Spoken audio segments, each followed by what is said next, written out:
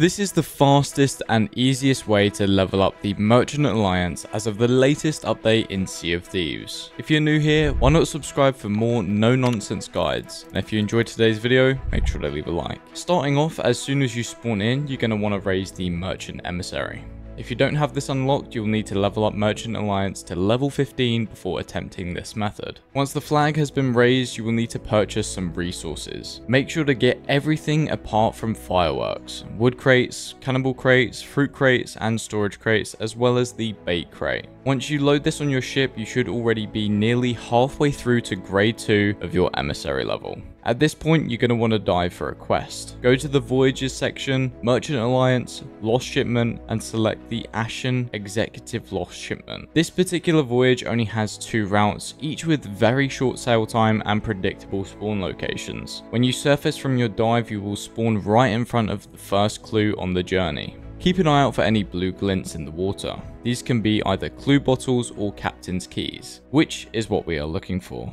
If you get neither of these items, look for the merchant barrel and still grab the clue as any progress on the quest gives you a lot of emissary rep on your way to grade 5. On your journey, stick as close to the path as possible. If you get the key, sail straight to the shipwreck and ignore all of the clues you get. The shipwreck will always spawn around Morrow's Peak outpost, and if you get a clue for an island that is close on your journey, and you do not yet have the key, what I like to do is raise my sails to slow down the ship in case I need to turn around and shoot out of a cannon and check the island. In the example you're seeing in this video, you can see I got it on the first island I checked after the initial clue. So once I picked up the key, I sail straight for the shipwreck. When you reach the shipwreck, grab everything, including kegs, as we are less than a square away from the turning point. Head over to the Sovereigns if you're on a captain ship to turn in. If not, dock up at the Merchants. Sell everything you gathered, but don't lower the Emissary. Next, you're going to want to dive for another quest. Go to Voyages, Merchant Alliance, Raid Voyages, and select duel with an Ashen Lord. This will take us to a Ashen Winds event already with a grade 5 merchant flag up. This is the quickest world event to complete for all crew sizes and just by using a blunderbuss and consistently reloading you'll have taken down the boss in no time. Once complete you will be rewarded with a scroll of charted waters as well as some other high tier merchant loot. This will also progress one of the new commendations for selling these items on top of providing a huge amount of levels in your merchant reputation